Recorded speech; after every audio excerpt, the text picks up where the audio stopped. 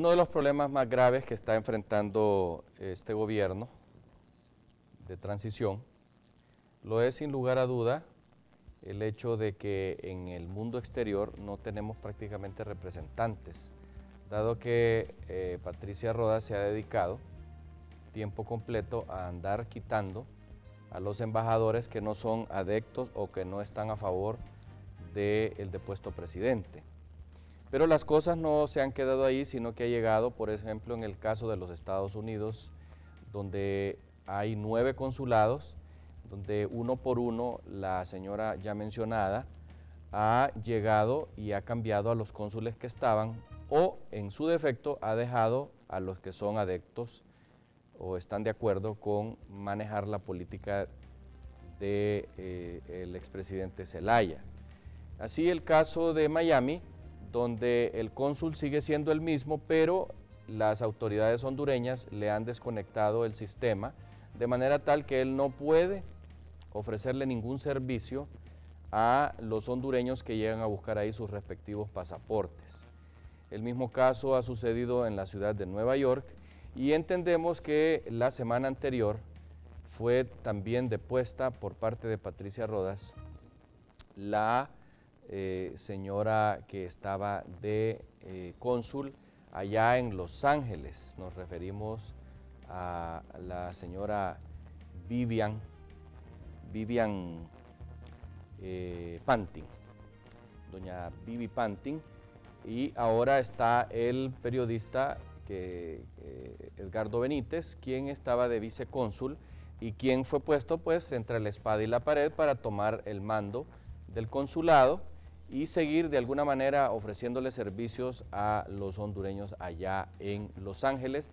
que nosotros sabemos que Maya TV pues tiene preponderancia o más bien somos el único medio que se ve en directo en esa eh, ciudad de Estados Unidos y en otras 50 más. Lamentamos esta situación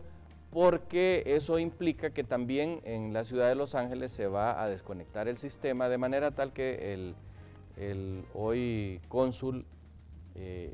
interino Edgardo Benítez no podrá tampoco dar los servicios que los hondureños están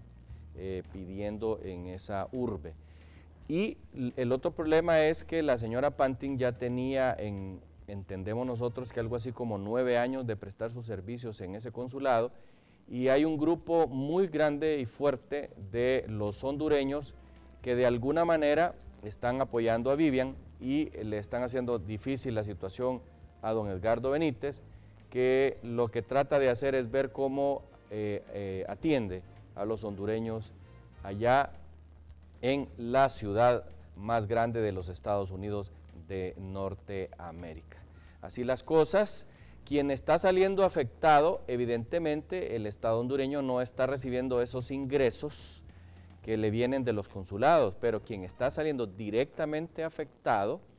son los hondureños que buscan su documentación por cientos en cada una de las nueve representaciones consulares que tenemos en los Estados Unidos de Norteamérica. De manera tal que esos daños colaterales sí estarán afectando a los hondureños, sobre todo aquellos que pretenden eh, votar en las elecciones del 29 de noviembre allá en, los diferentes consulados o donde se pueda o se consiga permiso para ejercer el sufragio por parte de los hondureños. El otro punto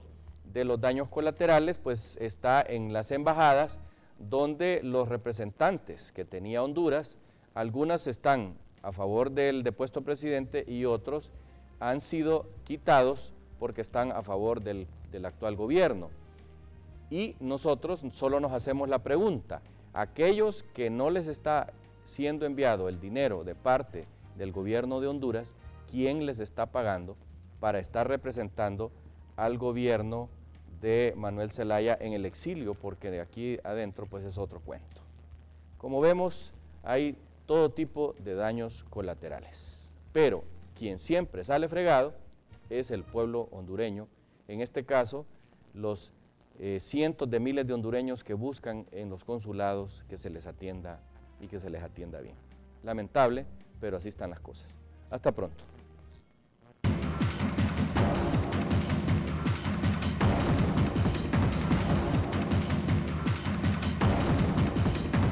El licenciado Mario Flores Ponce viste en Galtruco.